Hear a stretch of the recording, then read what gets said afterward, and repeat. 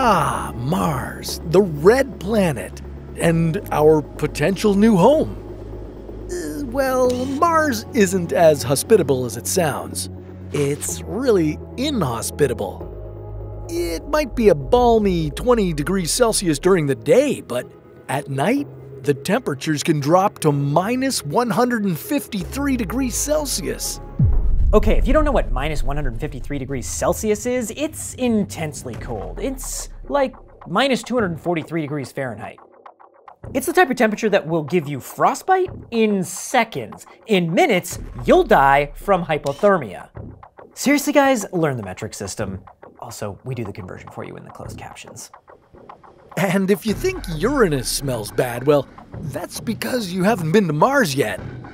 Yeah, the red planet smells like rust and gunpowder. But when I wear my helmet, all I smell is me, and I smell pretty good. Most of the time.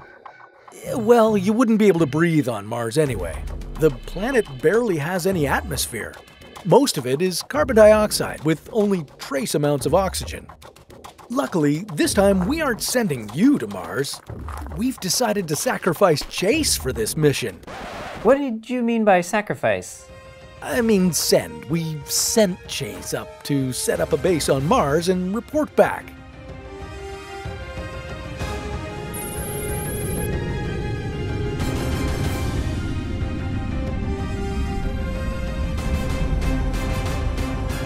Hey, he made it! Welcome to the Red Planet.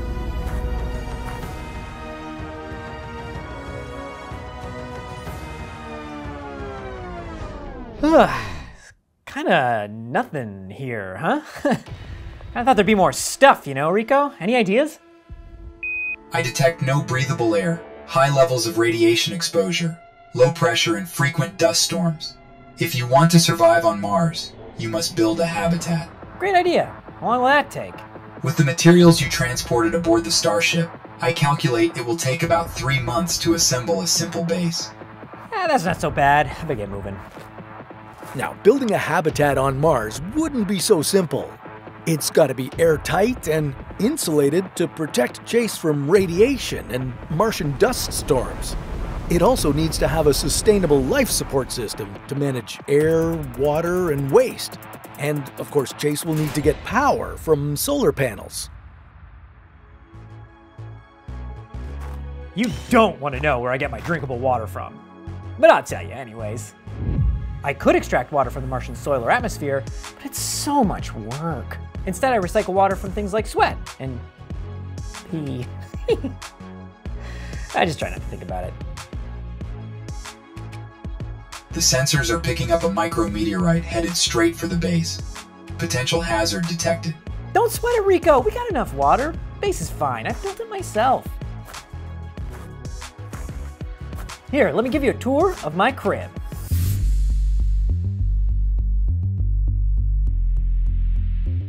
Welcome to the fanciest pad on the planet. Over here is where I sleep. And over here is where I eat. And over there is a window.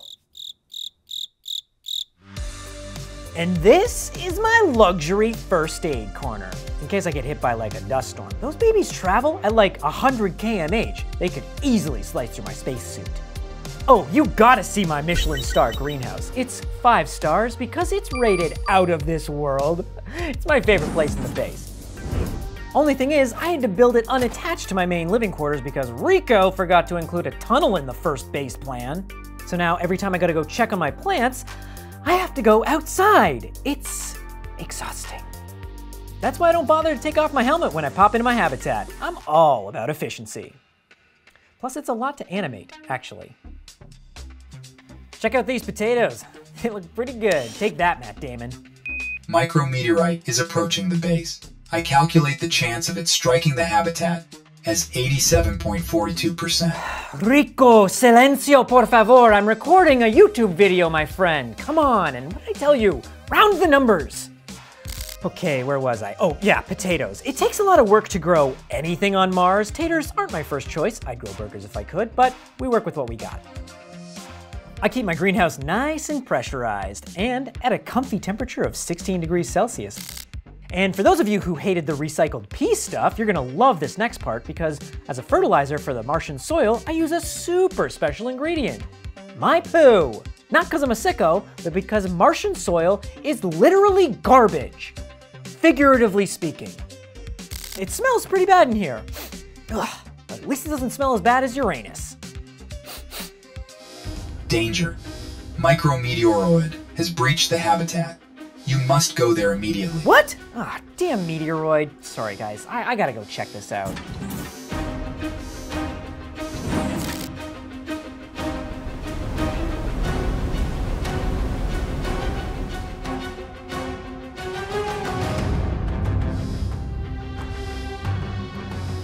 Helmet has sustained minor damage. Ugh, this is my favorite helmet. Rico, do I have a spare somewhere? You have an extra helmet, but I have bad news. Uh-huh. What? What now? The extra helmet is back at the habitat.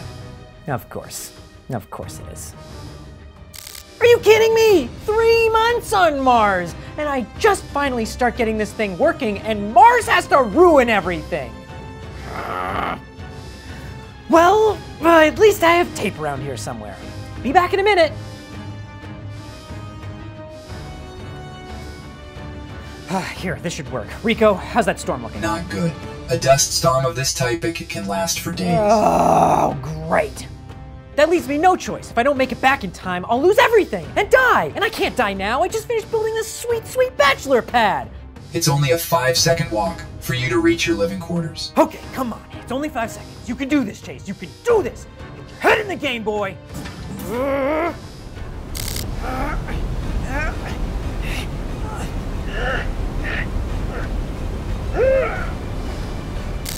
This helmet is useless. I'll go without it. Five seconds to get back home. I can handle a little bit of frostbite. I highly advise you don't do this. Mm, Okay, well, if I don't make it, I'll see you guys on my next adventure. Chase out!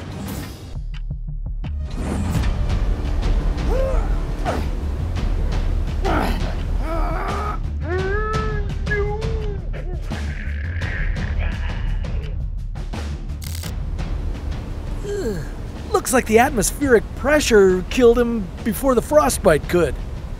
Didn't I say going out there without a helmet was a bad idea? Yeah, don't try this on your own. And don't worry, Chase will be fine. It's kind of his thing. He dies. A lot. But he always returns for another adventure. Where should he go next? How about the stinkiest planet in the solar system? Well, that's a story for another What If.